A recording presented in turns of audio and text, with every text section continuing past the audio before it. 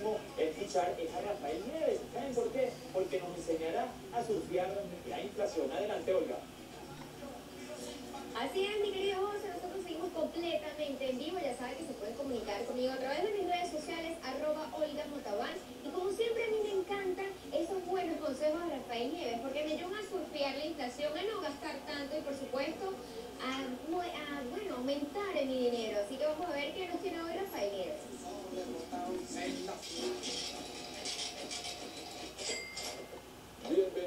a Gerencia para Todos, la primera iniciativa de gerencia en Venezuela. Muchísimas gracias por seguirnos a través de arroba gerencia todo, visitar nuestra página de gerenciaparatodos.com, donde por cierto pueden bajar nuestra publicación periódica, en este caso nuestra edición de diplomacia y negociación, se las recomiendo, así que visiten.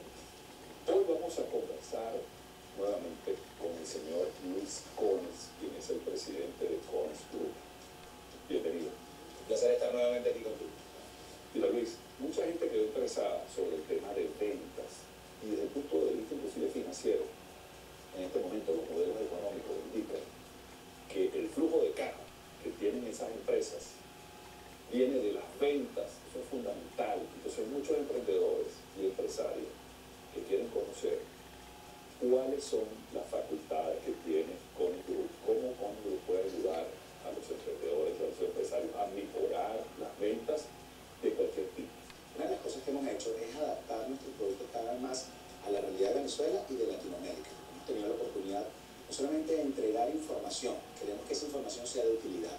Y esto lo hemos logrado a través de programas de formación, digamos, eh, que son más intensivos eh, por ejemplo, el caso del máster en ventas, un programa de profesionalización de vendedores que va desde las facetas más artísticas, como el arte de vender, a facetas ya más gerenciales, en el caso de gerencia de la venta, y ahí nos conectamos mucho con esa esencia de gerencia para todos y gerenciar no solamente a los individuos que están afuera, sino al individuo que está aquí adentro. Es bastante, hay que gerenciarlo.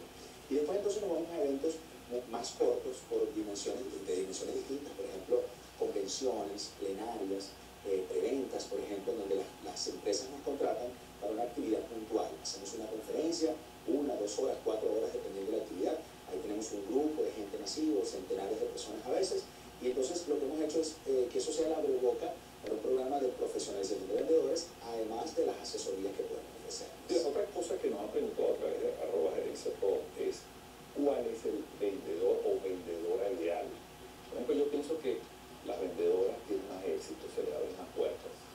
Por ejemplo, ¿no? Sí, porque a veces es más agradable tratar con una banana que son más responsables. Pero ¿qué puedes decirnos al respecto? Sí, a mí me encanta, eh, por ejemplo, he tenido la oportunidad de compartir con muchos vendedores, con vendedoras, con colegas, y te puedo decir que son muy organizadas, como tú bien lo decías, son personas que están muy centradas y eso ayuda mucho a la venta. Eh, yo creo que tenemos que aprender un poquito de todos los caballeros, debemos aprender de ellas, el orden, la estructura, la organización, y de alguna manera u otra, eh, si yo veo alguna fortaleza en los caballeros vendedores, es la planificación, pero sobre todo a largo plazo, o sea, la capacidad de, la capacidad de ver objetivos que a lo mejor no están hoy, sino están mañana.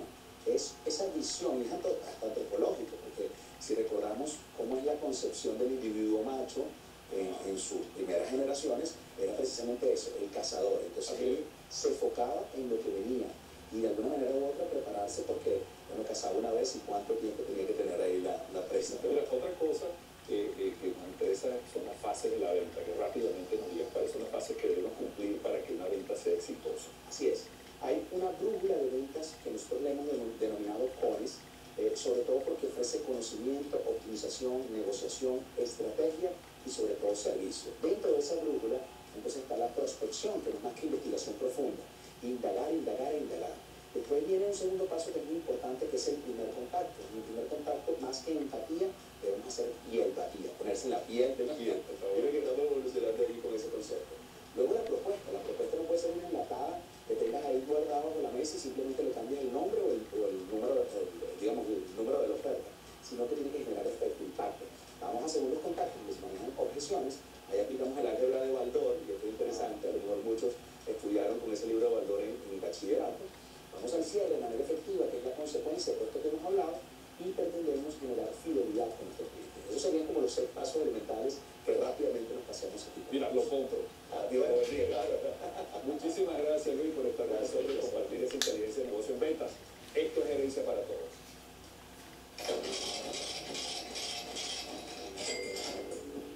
Me encantaron consejos para aumentar nuestras ventas y sobre todo ese concepto de patilla. Yo creo que eso, pues no nada más hay que aplicarlo a las ventas, sino a cualquier eh, parte, a cualquier situación de nuestra vida. Pero nosotros seguimos en vivo con nuestro querido José que está del otro lado del estudio. Adelante.